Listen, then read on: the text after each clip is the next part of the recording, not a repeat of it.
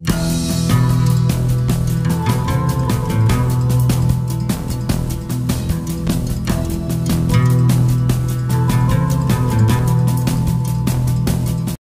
guys, my name is Pratima Bhakti and welcome to my channel.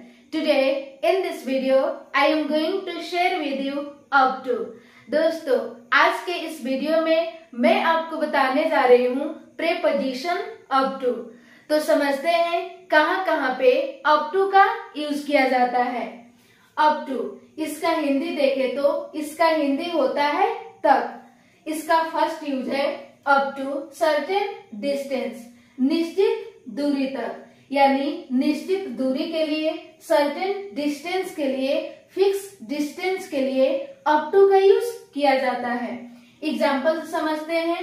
He went up to five kilometres वह पाँच kilometre तक गया। तो यहाँ पे फाइव किलोमीटर्स क्या हो गया आपका? फाइव किलोमीटर्स हो गया निश्चित दूरी सर्टेन डिस्टेंस फिक्स डिस्टेंस इसीलिए यहाँ पे अप टू का यूज़ किया गया है। अगला इसका एग्ज़ाम्पल है she ran up to eight kilometres वह आठ किलोमीटर तक दौड़ी। तो यहाँ पे एट किलोमीटर्स क्या है आपका? एट किलोमीटर्स है सर्टेन डिस्टेंस निश्चित दूरी फिक्स डिस्टेंस इसीलिए यहाँ पे अप टू का यूज़ किया गया है।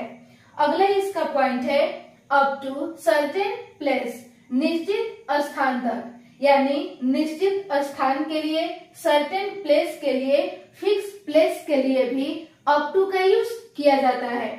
एग्ज़ाम्पल से समझते हैं I went up to home मैं घर तक गया। तो यहाँ पे होम आपका क्या है? होम आपका एक सर्टेन प्लेस है, निश्चित स्थान है फिक्स प्लेस है। इसीलिए यहाँ पे अप टू का यूज़ किया गया है। अगला एग्ज़ाम्पल है he goes up to market वह मार्केट तक जाता है। तो यहाँ पे मार्केट क्या है आपका? मार्केट आपका सर्टेन प्लेस है, निश्चित स्थान है फिक्स प्लेस है। इसीलिए यहाँ पे अप टू का यूज़ किया गया है।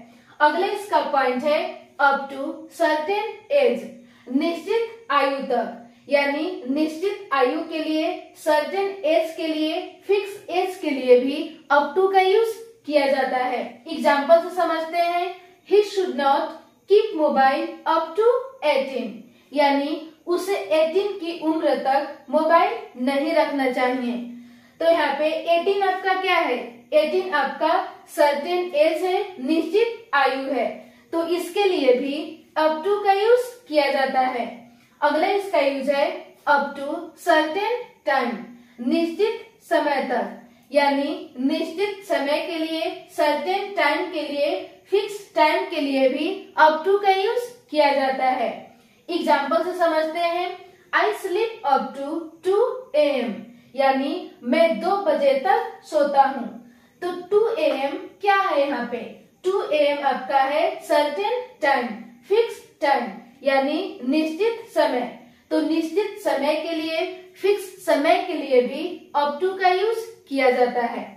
अगला इसका पॉइंट है चॉइस यानी पसंद।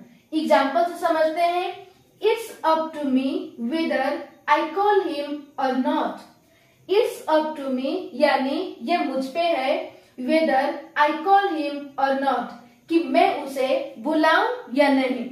यानी कहने का मतलब कि ये मेरी चॉइस है, मेरी पसंद है कि मैं उसे बुलाऊं या नहीं। तो इसके लिए भी चॉइस के लिए भी अप टू का यूज़ किया जाता है।